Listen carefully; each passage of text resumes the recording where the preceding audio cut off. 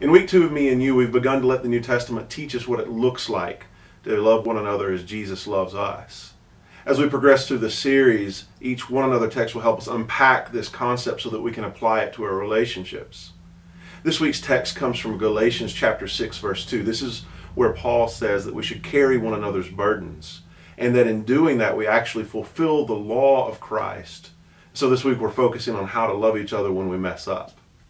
A common cliche in many Christian circles is that we should hate the sin and love the sinner.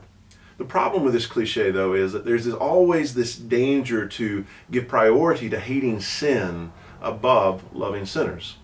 That is, oftentimes it's easy for us Christians to have more passion and more determination for taking a stand against sin than it is for loving and serving those that we would consider to be sinners.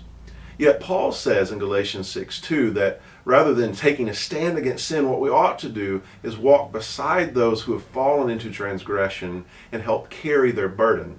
And he says that in doing this, we actually fulfill the law of Christ, which is that second command that we recite every Sunday morning love your neighbor as yourself.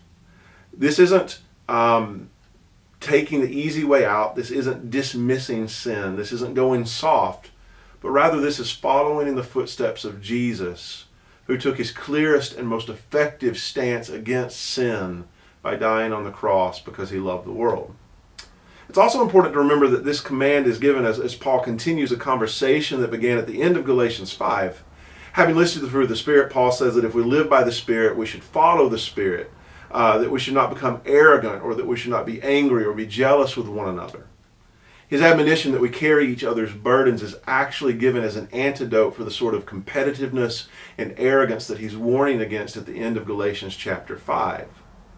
And so when we look out for each other, when we're humble enough to help each other carry our burdens, what we're doing is we're forsaking that competitiveness that says, oh, bless their hearts, they've messed up. For our own benefit, for making ourselves look better, and we start working for the benefit of our brothers. This has been your two minute recap for this week, the second week of the Me and You series. I hope you have a great discussion.